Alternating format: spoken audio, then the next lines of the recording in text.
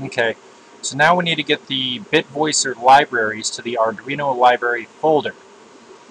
Um, when you install BitVoicer, it actually already put a copy of the library on your computer. So we need to navigate to the BitVoicer. You see it's BitSophia install folder.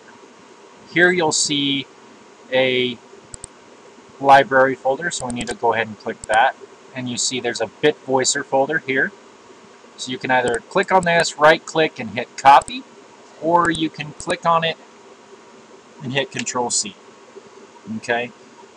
Now we need to get that to the Arduino library. So we're going to back all the way up to C.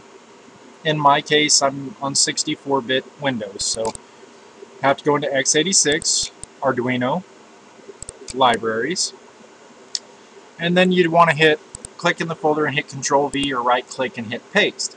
Now I've already done that, so you see BitVoicer is here. Okay, there are no samples in this, um, so normally where you'd go to your examples and stuff like that to pull up samples, there's not any there.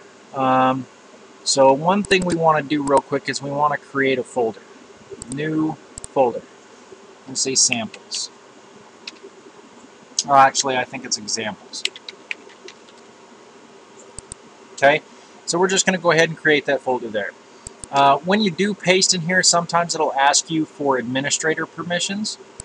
Okay, um, so just go ahead and say OK to that. We'll use this examples folder later uh, when we create our first Arduino sketch.